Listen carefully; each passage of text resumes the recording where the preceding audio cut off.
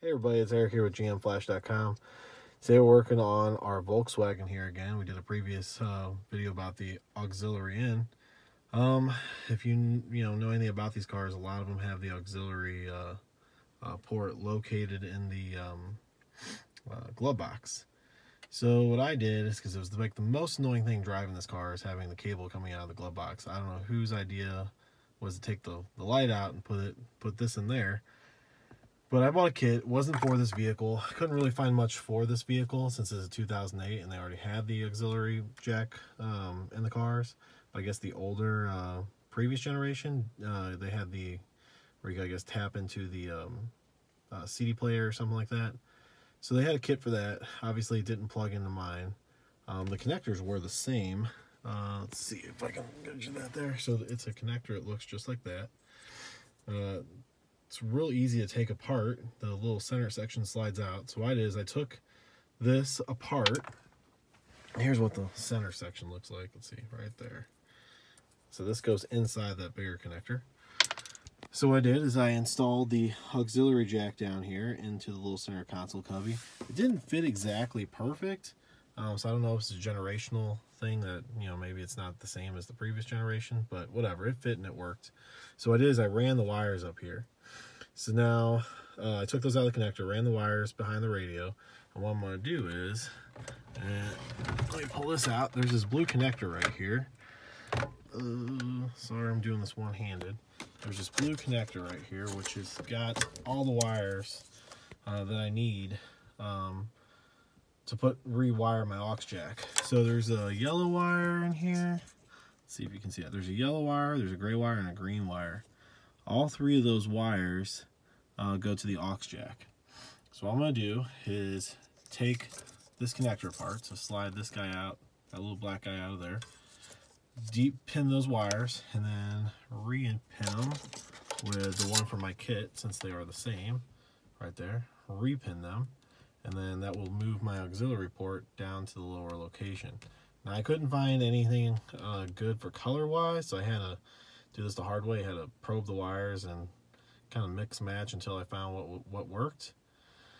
I'm sure there's an easier way to do it, but uh, I'm doing this in the rain on a Saturday night, so um, I'm going to go ahead and reprobe this or repin this, and then uh, hook it up and see what happens. I know one thing I did notice is I disconnected the uh, um, that blue plug, and now it says auxiliary in.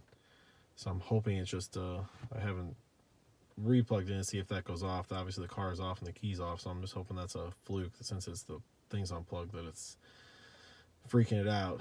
But I am going to go ahead and repin that, and then I'll have the follow-up video here in a second and show you what happened. It's Eric here again with GM Flash. We just got done doing our aux relocation on this 08 Jetta that had it in the glove box over there. So to follow up from our first video, these are the three wires I had to change uh, to uh, in the back of this blue connector back here. Um, the wires that came out of the factory harness were a little bit nicer than that of the $10 eBay kit that I bought. Um, this is this factory is much heavier gauge wire, obviously.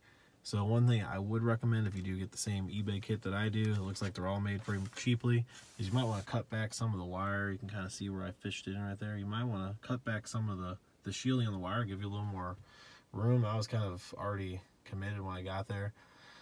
The terminals, I don't think are the same quality. Uh, these obviously, um, you can look at them, have a little bit of a better uh, punch down release, which you can't really see in this picture or this video.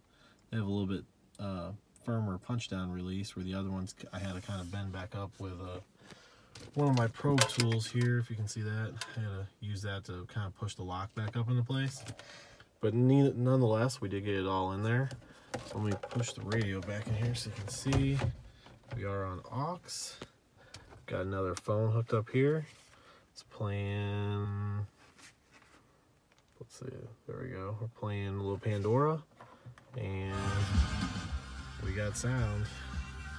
And let's see. Paused it, play it, hooked up right there.